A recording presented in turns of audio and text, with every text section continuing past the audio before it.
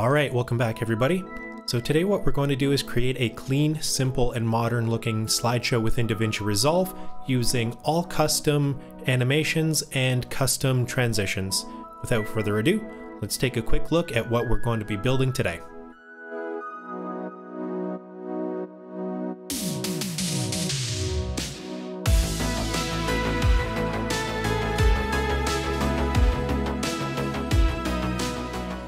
Now, before we get into the video, I just wanted to ask, what would you like to see in future episodes? Let me know in the comment section below.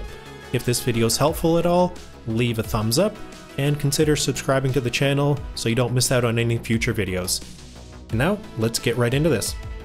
So the first thing I'm going to do is drop the photos that we're going to be working with into our media pool, and then drop them into our timeline.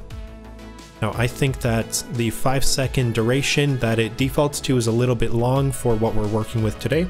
So I'm going to highlight all of them and then click Control D on the keyboard to change the clip duration. From there, I'm just going to drop that down to 3 seconds and hit change. From there, it's just as simple as dragging them so that they are lined up back to back. Perfect, step one done. Next thing we need to do is just make sure that every photo that we're working with is completely taking up all of the screen. As you can see, this one isn't, so what we're going to do is just zoom in, just so that we have a little bit more to work with here. And this one isn't as well. Now all of these images are just stock photos I grabbed from the internet and I wasn't really checking their size, but the majority of the time, photos have a different aspect ratio, so they're not completely going to fit. Anyway, now that everything is completely lined up, we can get working on building the actual slideshow. So for this first one, I think all I want to do is have it zoom in.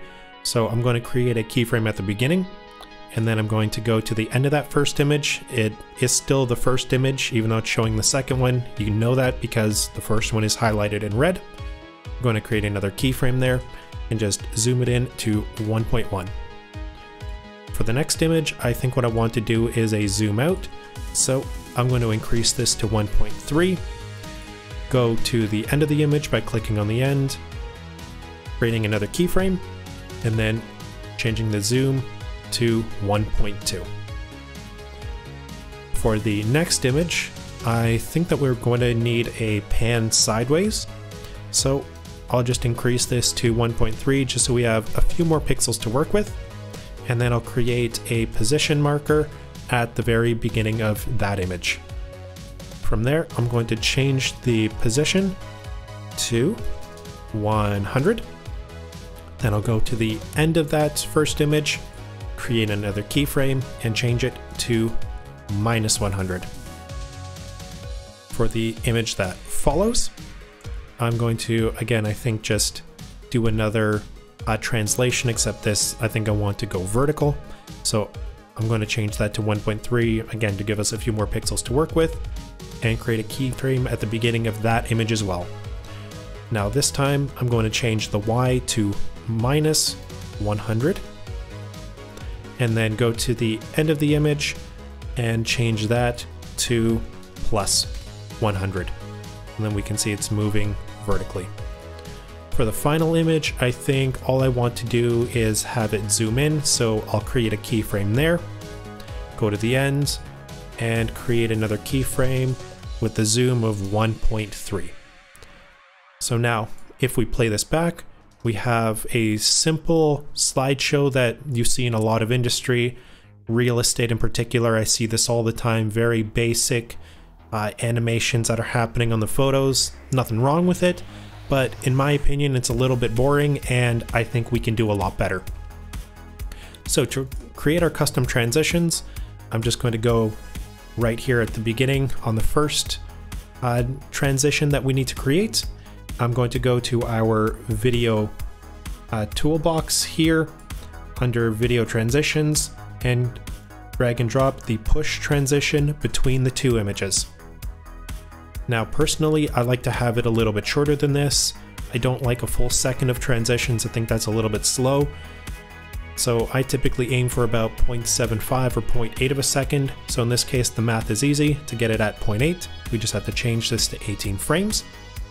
And then if I just play this back, you can see it's going to push the image off. And it's very linear looking, and as you know, I hate the linear look. I think it just looks unnatural and robotic. So I'm going to change the ease to a zoom in and a zoom out and that'll change it more to that Bezier style curve that I like a lot more. So as you can see, what it did was it starts off slow, speeds up in the middle, and slows down at the end. From there, and this step is completely optional, play around with it, see if it works for your particular uh, settings there. But I like to add a little bit of a feather, which is going to soften this middle edge between the two images. And I like to set it at around 250 so you can see a little bit of a blur happening a little bit of merging happening especially here on the potted plant. You can see it turns a little bit clear. You can see the carpet coming through. And I just I think it gives a, a nicer softer transition even though it's going to be a little tough to see but it just does a little bit something to the image that I like and now if we play back this transition we can see it just slides from one image right into the other. But what I don't like about it right now is that there's there's no motion blur. There's a lot of motion, a lot of really quick motion happening on the screen right now. Normally, if you did see that, the camera would pick up some blur. So let's simulate that. Let's add that right in. To do that, we're going to go under the um, effect section, under the toolbox, and add an adjustment clip on top. Now I'm just going to trim this down so it's the size of our clip by dragging the beginning to match up with the beginning and the end of the adjustment clip to match with the end of our transition.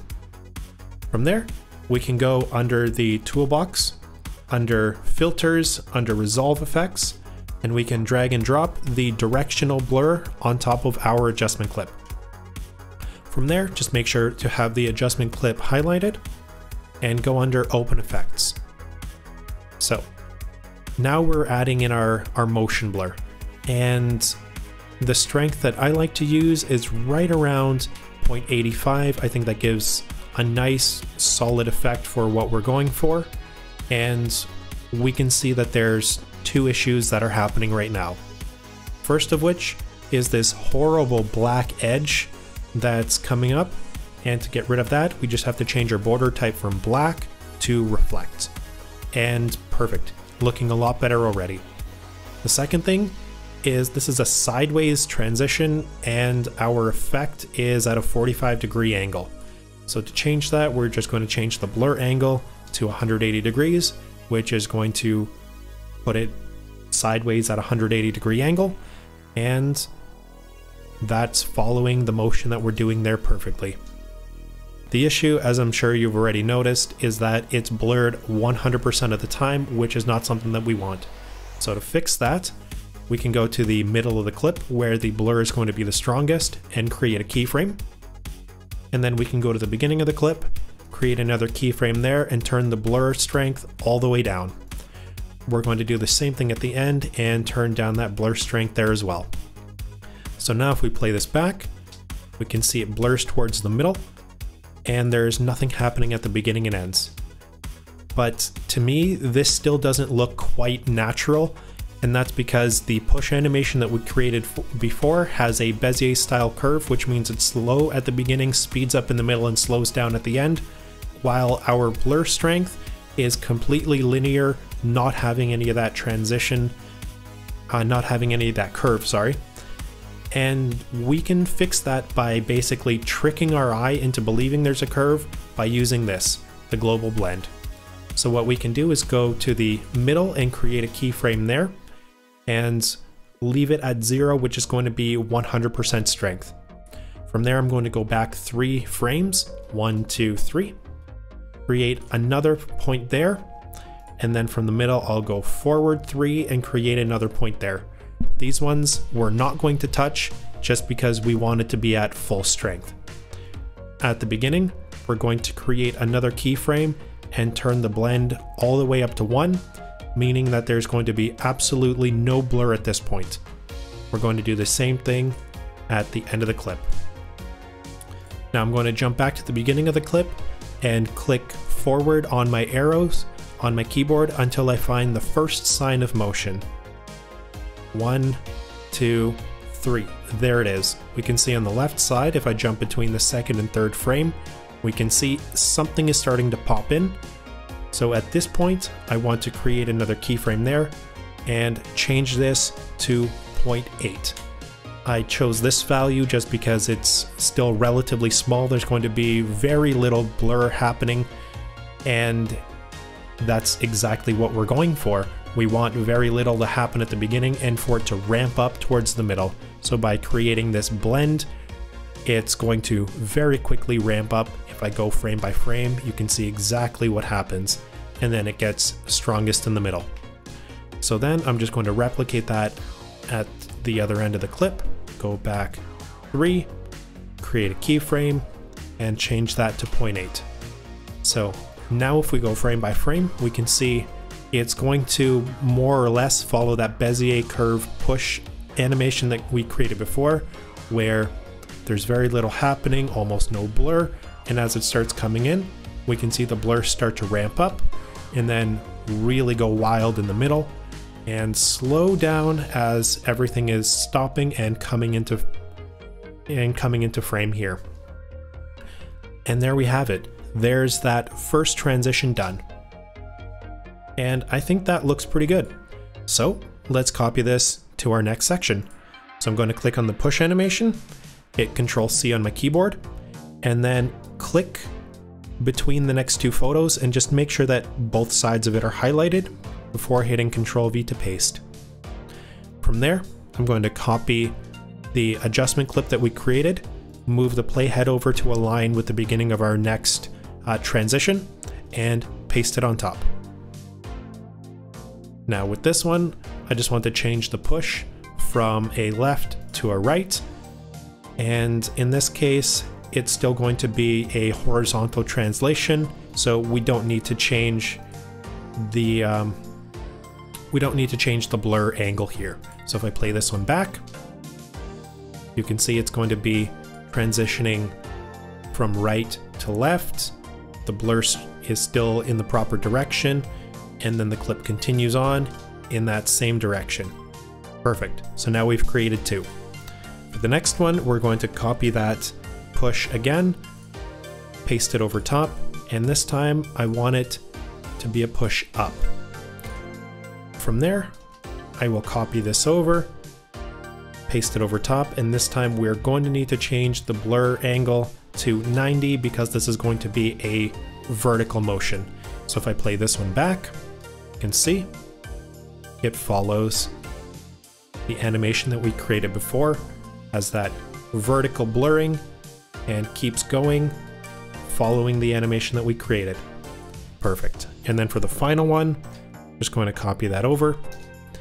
And in this one, I'm just going to push it down just to show you that it doesn't always have to be a, uh, a movement that follows. You can mix and match them, but if you're doing a translation, try to make the clip follow along. But in this case, we're just doing a zoom and it still works perfectly fine. All right, and there we have it. We've created a slideshow from scratch using our own animations on the photos, as well as custom made transitions for between the photos. And what you can do is use this as sort of a jumping off point. You don't have to follow along with exactly what I did. You can play around with that push animation. You can play around with the slide. Use this as a as a jumping off point to create your own slideshows. And as always, if the video was helpful, don't forget to leave a like and consider subscribing to the channel if you found this helpful so you won't catch any future videos. And if you have any ideas for what you'd like to see going forward, let me know in the comments below. And until next time, I'll see you guys all in the next video. Bye now.